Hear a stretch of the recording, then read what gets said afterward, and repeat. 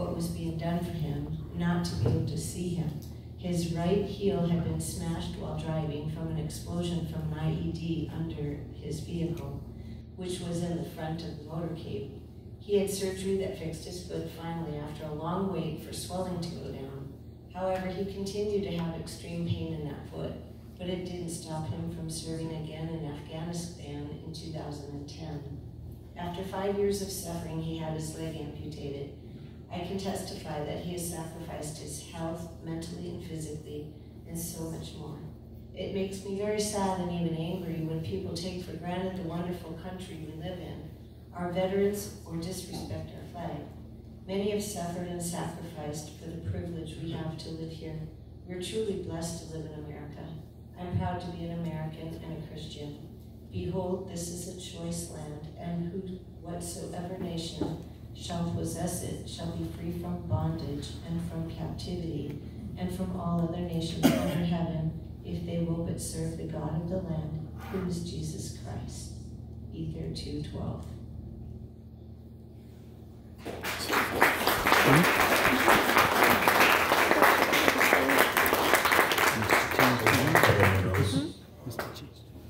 I guess to coin the expression, what we just heard is tell. So, with that in mind, I think we've got something that'll be a little bit much, uplifting for all of us. And I'm going to call upon Mike Morgan to come up here and give us some wonderful music to serenade us. It says here, we should know the songs, okay? So I don't know if it's a Mike Morgan original, but we should know the songs. Mike, what do you say? Thank you, thank you for all you have served. It does irritate me when people talk about our country, talk down on people who have served.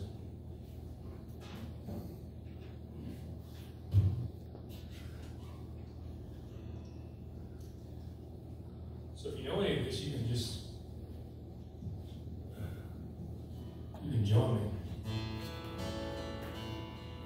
Mine eyes have seen the glory of the coming of the Lord. He has trembled at the vintage when the grapes Christ stole. He loosed the faithful lightning of his terrible swift soul. His truth is marching on. Glory,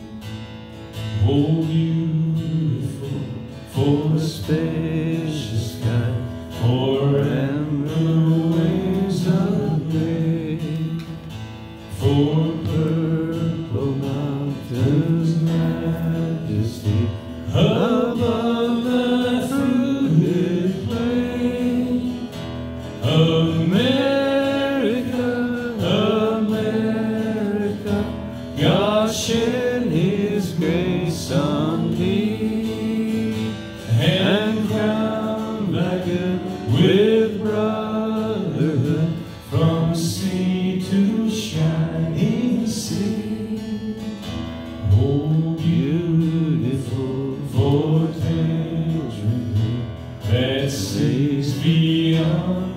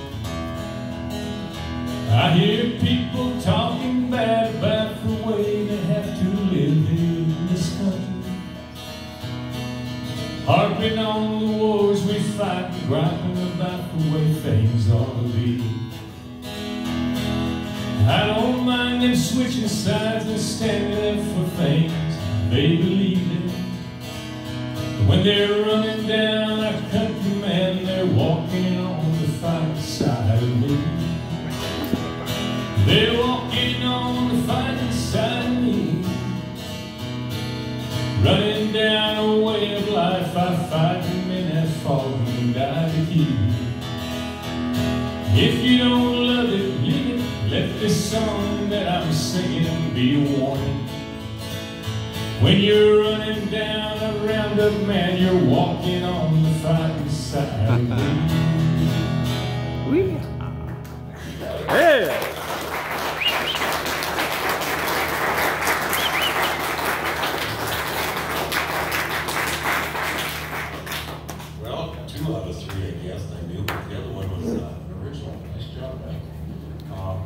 Well, that it didn't Mark? Surprise, surprise. Anyway, music does help.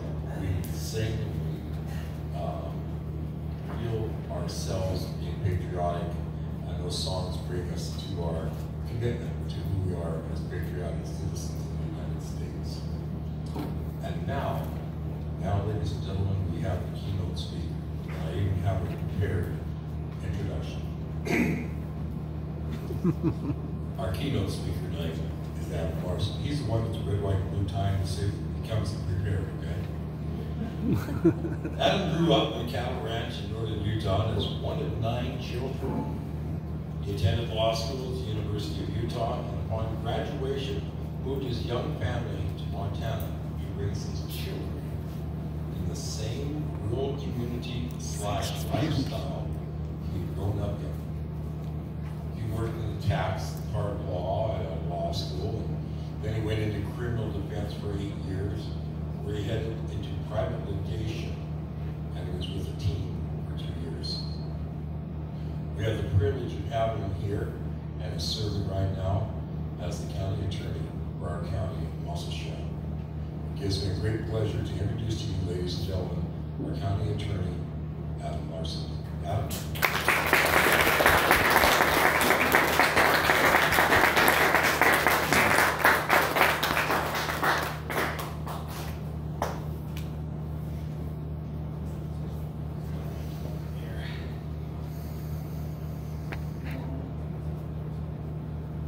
Good evening. Good evening. This is a strange setup to be floating over top of all of you here.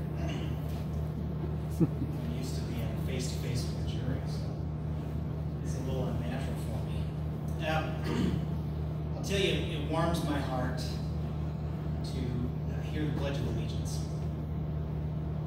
And it warmed heart to pledge allegiance to the flag and to the republic for which it stands. I'm the county attorney for both Musselshell County here as well as Golden Valley County, our neighbor to the west. And I recently tried a jury trial before the Justice of the Peace in Golden Valley County in Ryegate. Uh, this was the first jury trial they'd had in about 17 years. And the judge, it was his first trial ever, he gave some inspiring quotes about freedom, about the Constitution in the trial. And then he invited all the audience members to stand and give the Pledge of Allegiance. And I'll tell you, it's the first time I've ever had a judge do that in many, many jury trials. I've tried a lot of cases to a jury, and I've never had a judge have the jury stand and give the Pledge of Allegiance before we began the proceedings. And I, I loved it. Uh, we did so, and I think everybody else appreciated it too. A great sign of our allegiance to the nation, to our Constitution, to the principles of liberty upon which it was based. But about, I don't know, it was three or four days later, the defense attorney called me up. He said, Adam, can you believe what that judge did? I said, well, he did a lot of stuff. We were specific. And to me this judge asked us all to stand and give of Allegiance at a jury trial in a courthouse. And uh, I had to remind him that, uh, well, he, he expressed some concerns that this may be forcing individuals to participate in the pledge when it might otherwise be against their religion, which I suppose could be a valid concern given the right jurors. But I reminded him that we do live in America where we don't force anyone to engage in practices against their will, and that those who have an issue with such a pledge pledge could easily refrain from that practice without suffering discrimination in court or in communities. I returned home to Musselshell County that evening where my two of my sons were playing in a doubleheader baseball game. And I've loved in the baseball season this spring and Roundup that every game starts with the players, the coaches, the entire audience standing and giving the pledge of allegiance. They stand, they recite that pledge, and give thanks to all those who stood, who knelt, who led, and fought, and died for their flag.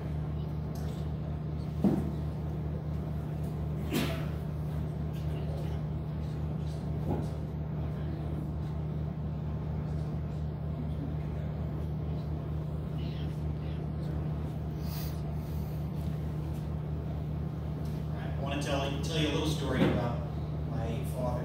He was a, a veteran served towards the end of the Vietnam era in the United States Army flying Huey helicopters. He would tell us kids a story uh, later on in his life of being involved in, in an early version of uh, something similar to SERE training. And this involved a several days operation attempting to avoid the enemy after being shot down behind enemy lines. The ultimate goal, unbeknownst to the trainees at the time, was for each young soldier to be captured and endure awful conditions for several days to simulate prisoner of war camps in Vietnam and test their mental resilience. My father was one of the last soldiers to be captured in this exercise and was then placed in a mud pit, which was covered by barbed wire, making it so that the trainees couldn't stand or sit, but had to lay in the mud for two nights and a day with no food or water. He described these as the longest, coldest nights of his life. He interrupted regularly by explosions and repeated gunfire. As the night broke, finally on the second evening, the light showed on the horizon. The trumpet sounded, and the American flag was raised, signaling an end to the exercise and resting by American forces. He described how he broke down in tears, feeling the freedom that that flag signaled him in that moment, and the light that it has beamed then and since to many dark spaces throughout our world. He taught his nine children to respect that flag for her stripes and freedom in her stars. Freedom bought at such great price. Our veterans, I'm honored and humbled to be among such great men and women generally, and to have the opportunity to thank all of you who have served our country. It is because of your selflessness, bravery, and unwavering dedication to protecting our freedoms that we are able to gather here today and enjoy the many liberties that make our country great. Your sacrifice and that of your families can never be understated. Whether you served overseas in combat or worked tirelessly to support those on the front lines, you have given everything to make our world a safer, more secure place. Your service has helped ensure that our children and grandchildren can continue to grow up in the land of the free and the home of the brave. So, from the bottom of my heart, thank you for all of your service to our great nation. We are forever indebted to you for the freedoms and opportunities we enjoy today. Thank you, and God bless you. I want to address today the defense that we make our freedom and our rights in modern times and today. And I want to first turn to some of the textual sources of the freedom and liberties we cherish. The Declaration of Independence, which was officially adopted on July 4th, 1776, is a testament to the principle that all men are created equal and endowed by the Creator with certain unalienable rights. Among these, life, liberty, and the pursuit of happiness. These rights aren't bestowed upon us by a benevolent government, but are endowed upon His children who were created in His image. In the words of Thomas Jefferson, the God who gave us life gave us liberty at the same time. The hand of force may destroy, but cannot disjoin them. And can the liberties of a nation be thought secure when we have removed their only firm basis, a conviction in the minds of the people that these liberties are the gift of God? And as Benjamin Franklin stated, freedom is not a gift bestowed upon us by other men, but a right belongs to us by the laws of God and nature. The next great document, the United States Constitution, was designed to limit the power of government in order to protect individual rights, specifically those rights enumerated in the Declaration of Independence. Among these essential protections are religious freedom and the prohibition on a government sanctioned religion. James Madison said, We have staked the whole future of the American Constitution upon the capacity of each all of us to govern ourselves according to the Ten Commandments.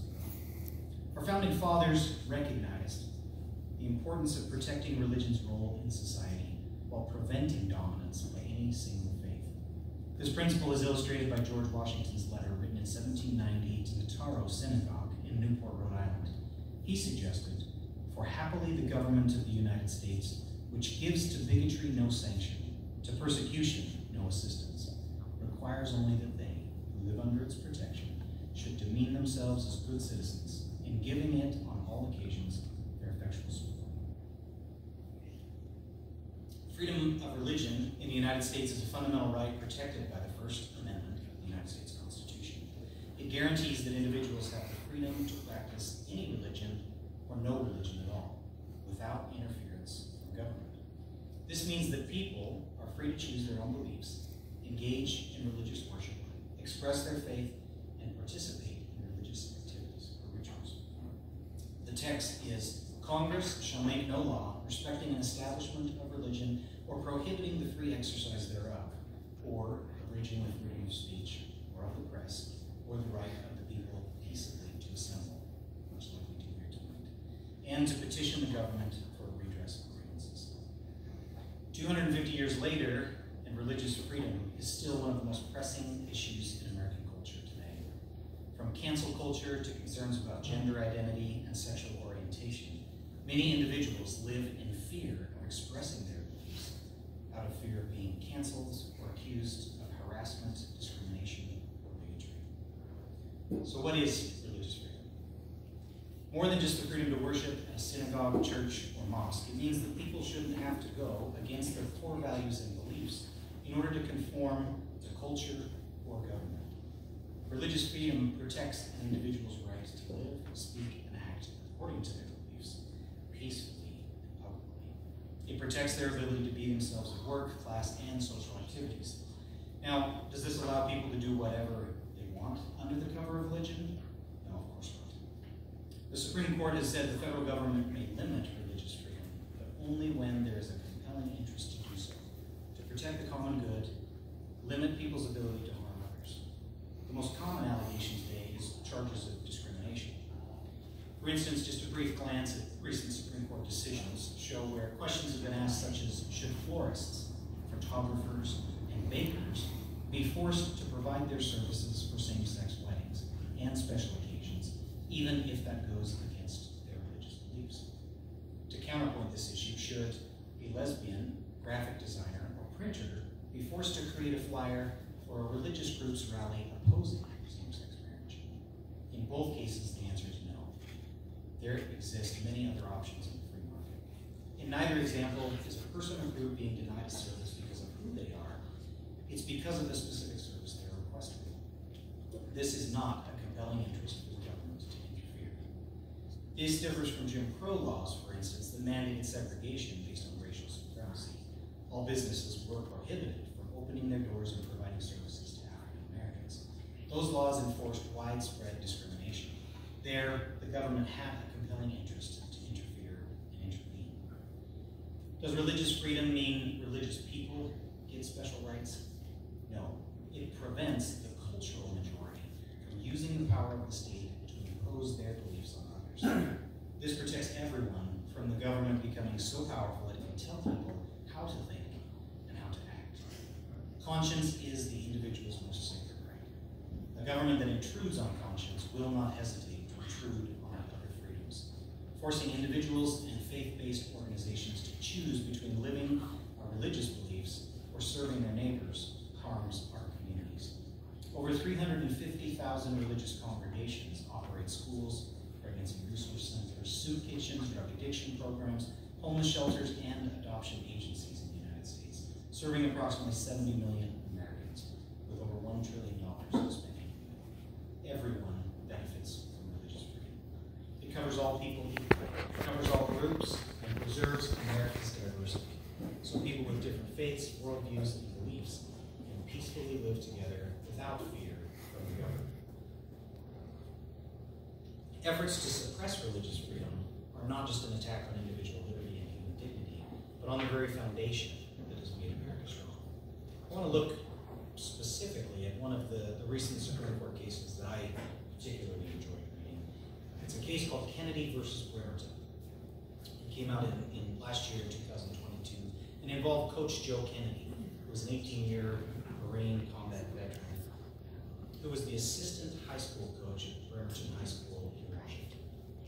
Before he coached his first game, Coach Kennedy made a commitment to God that he would give thanks at the conclusion of each game players had accomplished and for the opportunity to be a part of their lives through football. After the whistle of his very first football game in 2008, Coach Kennedy took a knee on the 50-yard line and quietly prayed, thanking God for his players and the opportunity to coach. His quiet, private prayers lasted only 15 to 30 seconds. Over time, he was joined by one player and then another, until many members of the team and even members of the other team would join him in prayer.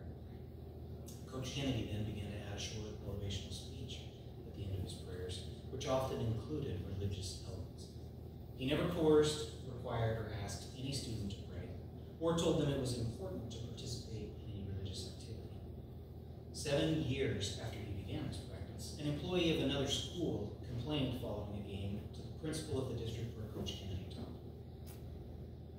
An administrator called the coach in and expressed disapproval to the coach of his practice. The district wrote Coach Kennedy a letter stating he could engage in religious activity, including prayer, so long as it does not interfere with job responsibilities, is physically separate from any student activity, and students are not allowed to join. Further, that such activity should either be non-demonstrative if students are also engaged in religious conduct, or it should occur while students are not engaging in such conduct. Coach Kennedy initially complied with the letter, and at his very next game, he left the field without offering a prayer. He made it only a few blocks before his conscience told him he had to go back. He had made a commitment to God, and he took that commitment seriously. Coach Kennedy returned to the field. The stadium was empty, no one was there. He went to the 50 yard line, knelt, and gave a silent prayer. He then knew he had to do something about the situation and retained a lawyer who asked the district to give him a religious under Title VII to allow the coach to engage in prayer at the conclusion of games. After the next game, he walked to midfield for the customary handshake with the opposing team, then waited until all the students had walked away and moved on to other things. He knelt, closed his eyes, and began his brief prayer. While kneeling there, the coaches and players of the opposing team and a number of members of the public came, knelt, and joined him on the field, praying with him. The district a few days later denied Coach Kennedy's request for religious accommodation as they thought such conduct would be perceived as government endorsement of religion. The district then forbade Coach Kennedy from engaging in any demonstrative religious activity readily observable by students and the attending public. Coach Kennedy continued to pray, unwilling to break his commitment to God. Two days later, the district placed Coach Kennedy on leave and barred him from participating in the program as he had, quote, engaged in overt, public, and demonstrative religious conduct while still on duty as a coach. First Liberty Institute, a nonprofit law firm who specializes in protecting religious freedom, particularly in front of the Supreme Court, initiated suit against the Bremerton School District. The case was initially filed in 2016 and was heard by various district courts, all of whom sided with the school district, until finally, in January of 2022, the United States Supreme Court reviewed the case. In its opinion, the court very clearly stated, and I quote, respect for religious expressions is indispensable to life in a free and diverse republic. Whether those expressions take place in a sanctuary or on a field, and whether they manifest through the spoken word or a bowed head. Here, a government entity sought to punish an individual for engaging in a brief, quiet, personal religious observance, doubly protected by the free exercise and free speech clauses of the First Amendment. And the only meaningful justification the government offered for its reprisal rested on a mistaken view that it had a duty to ferret out and suppress religious observances, even as it allows comparable secular speech. The Constitution neither mandates nor tolerates this kind of discrimination.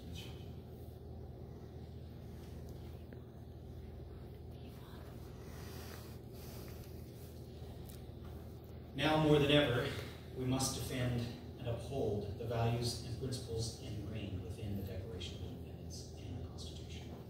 Religious freedom and the separation of church and state not only preserve the sanctity of faith, but also protect our individual liberties. Religious freedom can quickly be swept aside in the name of protecting other societal interests. Despite COVID-19 risks, North American jurisdictions declared as essential numerous services related to and other concerns. But often religious organizations and their services were simply deemed non-essential, even when their activities could be conducted safely. In the name of protecting physical health and security or advancing other social values, government often acted without regard to the importance of protecting spiritual health and security. It often seems to forget that securing religious freedom is as vital as physical health. Values we once shared with the great majority of our fellow citizens are now often considered outdated, naive, and sometimes even bigoted. Because a society's deepest values drive law and public policy, and because those values in many Western nations are now almost entirely secular, government is increasingly enforcing secular values at the expense of religious ones. And society itself, even without the force of government, can ostracize, stigmatize, discriminate against religious believers in overt and subtle ways, leaving people of faith marginalized and sometimes even despised. Our challenge is to help people without religious faith understand that the protection of moral principles grounded in religion is a great benefit to society, and that religious devotion is critical to public virtue. Religious freedom brings balance to competing philosophies. The good of religion, its reach, and the daily acts of love which religion inspires only multiply when we protect the freedom to express and act our beliefs. What can we do as individuals? One of the reasons the attack on moral and religious principles has been so successful is the reluctance of people of faith to express their views. Extraordinary effort will be required to protect religious liberty. First, we can become informed. Be aware of issues in our community that could have an impact on religious liberty. We can study the principles of the American founding and teach them in our families. Teach our families to cherish America's heritage of freedom. We must teach them the importance of religion to our nation and our society.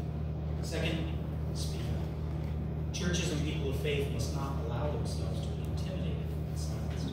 Make the effort to stay informed about issues of public importance and then speak out with courage and civility. Third, get involved. In your individual capacity, join with others to share our commitment to religious freedom. Work side by side to protect religious freedom.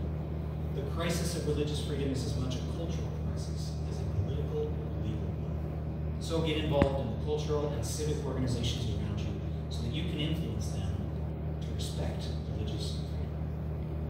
Fourth, be an example of the believers, as is quoted in 1 Timothy 4.12. Live your life to be a good example of what you believe in word and deed. How we live our religion is far more important than what we may say about our religion. I invite you all to champion the cause of religious freedom. Our society is not held together primarily by law and its enforcement, but most importantly by those who voluntarily obey the unenforceable because of their internalized norms of righteous or correct behavior. Religious belief in right and wrong is a vital influence to produce such voluntary compliance by a large number of our citizens. George Washington spoke of this reality in his farewell. Of all the dispositions and habits which lead to political prosperity, religion and morality are indispensable supports. Reason and experience both forbid us to expect that national morality can prevail in exclusion of religious principle. Let this public forum serve as a reminder of the importance of our freedoms, particularly religious freedom, according to both the Declaration of Independence and the Constitution of the United States. They are pillars of our nation that must be upheld and fiercely guarded. We must defend our Constitution. Our founding fathers' foresight has given us a foundation that supports freedom of religion while separating it from the governance of our nation. And we must pay heed to their wisdom. For as young and spirited as our country may be, it is the beacon of liberty and freedom for all of humanity. As we walk away tonight, let us hold tight to these truths. Let us remember that religious freedom and the right to choose our beliefs are the bedrock. We must cherish these rights and continue to defend them, for they ignite the spirit of hope, unity, and prosperity that define the true essence of our country. Thank you once again for your presence, your passion, and your unwavering dedication to the enduring values that make these United States a shining beacon of hope for people of all faiths and backgrounds. God bless each and every one of you. God bless you.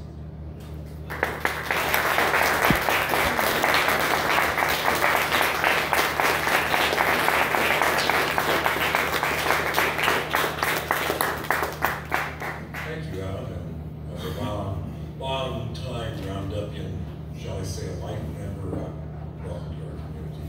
Nice speech, thank you. You've heard from our guest speaker, you've heard some, some statements of those that have served our country, and from a soldier that lost limbs, from a mother who was the mother to that soldier. Maybe there's one of you amongst their, our audience here would like to say a few words. Is there anybody? Raise your hand. I'll give you an open mic and an opportunity to address this, this congregation that we have in front of us. Okay, I try, okay? So I will call upon one person. I'm gonna ask Marlene to come up here and, uh, say a few words. She put this all together. What do you say a round of applause for Marlene?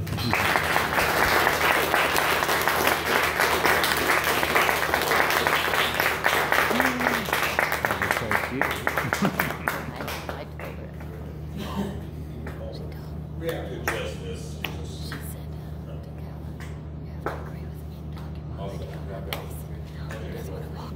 You know, you need to ask, um, Maggie from if she can come up here. Get up there. Come on. Told her I was gonna do this. She wasn't it was a good idea.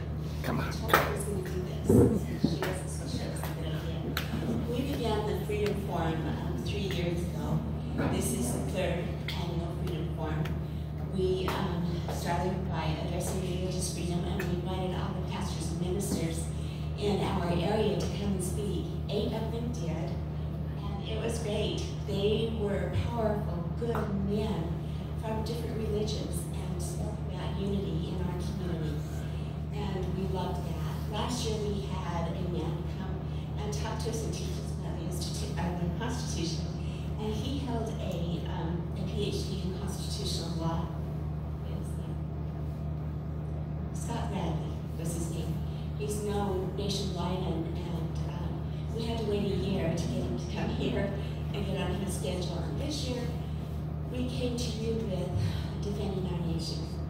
We, uh, Beate and I, get to serve with you in our church, and our purpose in the beginning of this was to give patriotic um, experiences to youth and to help build patriotism in all of us and in them. And um, that's our purpose. So we reached out this year to we reached out this year asking for help from other uh, members of the community if they would like to help, if they would like to give us ideas about what to have for this forum. And only, uh, really, only one responded. We were very appreciative of him. But I lay out an, or give out an invitation to all of you if you would like to have some input for this Freedom Forum for next year. Please contact one of us. Beate and I were talking about, just a little while about um, how do you show patriotism? Did you come up with some thoughts? I think Adam Larson covered a lot of them. I think he did too. Some things that came to my mind were make sure that patriotism and its truth is taught, is in the school curriculum. If you've got children or grandchildren there, make sure it's there, be aware of that. Another thought was coming to this. You know, for both of those other uniforms, we had twice as many people. We counted tonight, Greg counted for me, and um, we had twice this turnout which could be for any numbers of any number of reasons. But if you, each of you, speak to one person about the goodness that we're sharing here tonight, we've doubled already our message. If you speak to two people about it, it's tripled already. And we get into the hundreds. We express our patriotism. Viete is a patriot. she's, and she's much like, like Scott said, yes, she talks to you about it, and all of a sudden she's saying, thanks for volunteering. so, um, I, I don't know, I had another thought, but I honor you as being patriots. You're here, and you care. And I encourage you to share that caring with other people around you. And um, I thank you for your time. And it was great for us this year as we did reach out to some, some community names, Pat Perella and Mike Morgan and Greg Buffington, and they came. And they have shared so much. And these, these veterans, thank you so much. We think it's worthwhile. You know, my husband and I travel quite a bit. And every once in a while, we'll come into a, a city that we really don't know, and there'll be a sign that'll say the city's name, and then it'll say City of Trees. I've seen one saying, healthiest city in the USA. What would be like, Mayor Jones, if we had uh, if we had enough patriotism in Roundup that it said Roundup City, City of Patriots? Wouldn't that be great? I think it's important and it matters. We know there are many patriots in our midst, and we honor all of you. Thank you.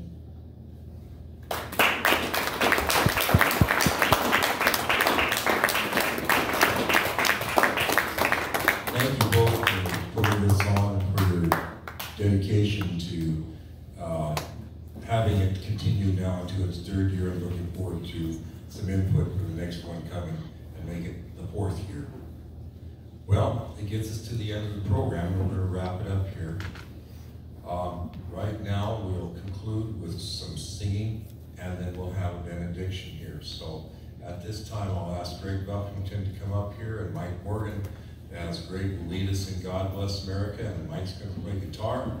And the conclusion of tonight will be benediction by Pastor Sean Berry.